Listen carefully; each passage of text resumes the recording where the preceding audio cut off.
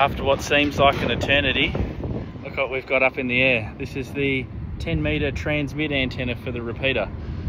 I'm here with Tricky. Hiya. Oh dear, this has been a project and a half, hasn't it? Oh, yes.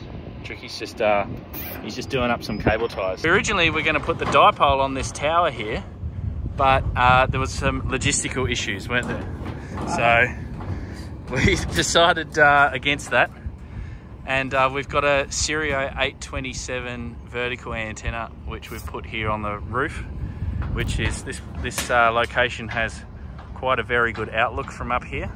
You can see for miles and miles. So hopefully this is also going to be heard worldwide. So uh, we've got that installed. We put in a common mode current choke here. So this is just uh, some ferrite beads, mixed 31 ferrite beads. There's probably about 800 ohms of impedance um, in that.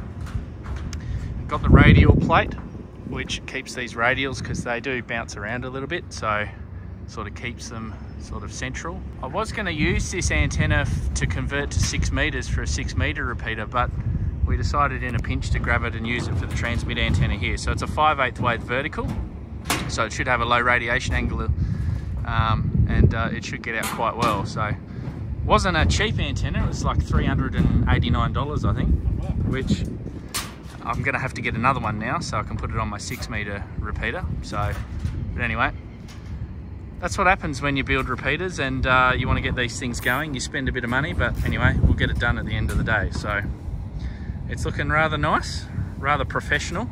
Inside, we'll show you where the transmitter is. I might need to do some B-roll though because it is very loud inside. There's a lot of noise, so I'll put some B-roll here over the top of what it looks like anyway, and that's basically the transmitter sitting in the rack. Uh, that's the 50 watts. It's a MLS2, GE MLS2 radio.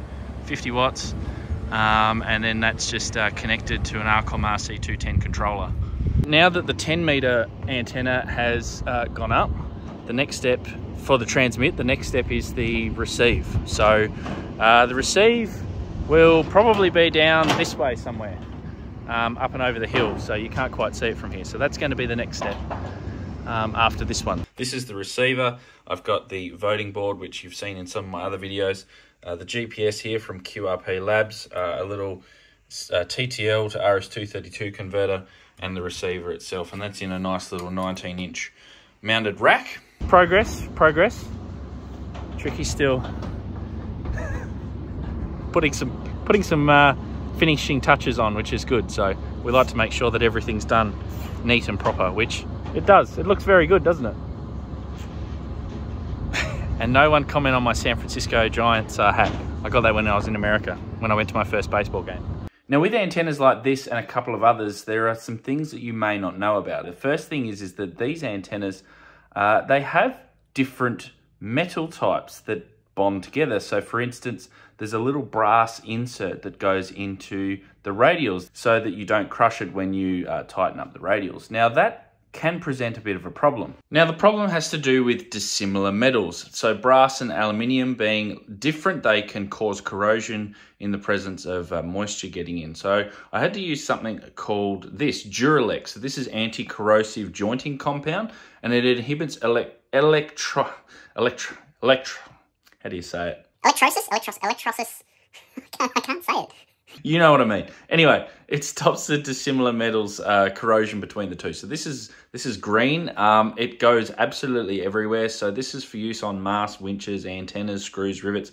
It's, uh, it's mainly, I think, for like marine type stuff where a highly corrosive environment. The thing is, is that the antenna will um, be in a bit of a corrosive environment, being out in the weather all the time. It's going to be raining. It is relatively close to the sea as well.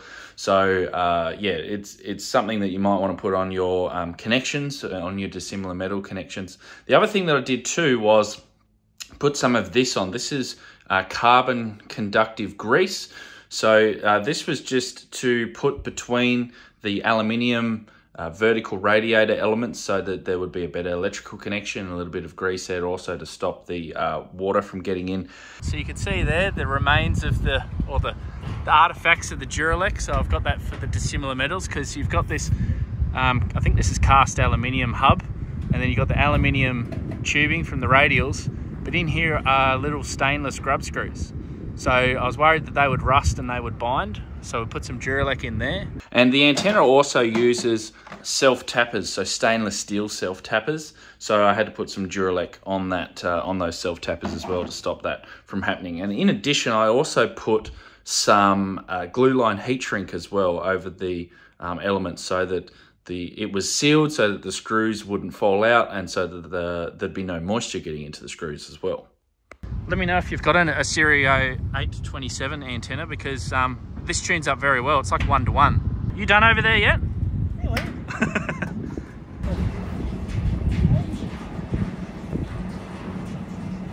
Looks good. good. The glorious Mount Wellington. One of our other repeaters is up on top of there too. Let's get this thing on the air, eh? Let's do it. Welcome to the VK7RHF10 meter amateur repeater system. The time is 9.14 p.m. VK7RHF